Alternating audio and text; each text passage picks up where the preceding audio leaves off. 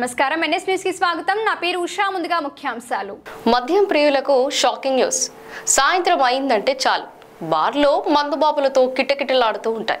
రోజు రోజుకు లిక్కర్ అమ్మకాలు జోరుగా పెరుగుతున్నాయి. అయితే ధర ఎంత ఉన్నా అమ్మకాలు మాత్రం ఆగవు. ఇక తెలంగాణ రాష్ట్రంలో బీర్ల ధరలు పెరిగే అవకాశాలు ఉన్నట్లు సమాచారం. ఎందుకంటే బీర్ల తయారీ కేంద్రాలకు ప్రస్తుతం ప్రభుత్వం చెల్లిస్తున్న ధరలకు పది నుంచి పన్నెండు శాతం మేర పెంచాలని నిర్ణయించినట్లు సమాచారం. ఈ వారం వినియోగదారులపైనే పడుతుంది. రాష్ట్ర వ్యాప్తంగా ఉన్న ఆరు బ్రూవరీలో ఏటా అరవై ఎనిమిది కోట్ల లీటర్ బీర్లు తయారవుతుంది. ఆ బీరును తెలంగాణ రాష్ట్రం బ్యావరేజెస్ కార్పొరేషన్ లిమిటెడ్ కొనుగోలు చేసి మద్యం దుకాణాలకు సరఫరా చేస్తుంది.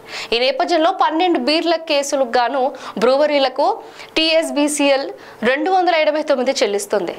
పన్నుల్ని అన్ని కలుపుకొని పద్నాలుగు వందల చొప్పున రిటైర్లకు విక్రయిస్తున్నారు.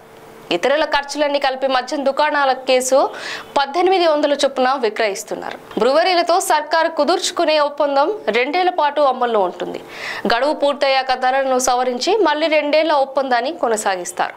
ప్రతి రెండేళ్ళకు బ్రువరీలకు చెల్లించే ధరను ప్రభుత్వం దాదాపు పది శాతం మేర పెంచుతూ ఉంటుంది. చివరిసారిగా రెండేళ్ళ క్రితం రెండు వేల ఇరవై రెండు మే నెలలో ఆరు శాతం చొప్పున రెండు సార్లు పెంచింది.